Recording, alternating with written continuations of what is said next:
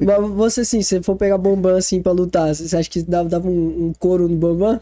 Pô, eu, eu na verdade. É meu Aí, lado, tá meu lado já. Olha só, Ah, tô, tô... olha só. É, eu vou ser bem realista pra vocês. Eu acho que no box, no box, Bambam vai me desculpar.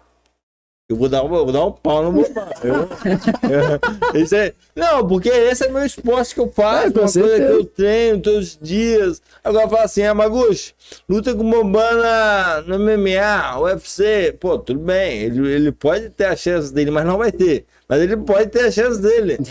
Entendeu? Mas no boxe não. Boxe eu me, eu me, me, me arrisco sem treinar ou treinando. pode Caraca, me tirar aí, da ó. cama e falar assim, Maguchi, Bambam, ok, vou Acorda tá- aí. Pode me pegar aqui agora e usar com o Bambam. Eu vou- Eu ganhar Bambam.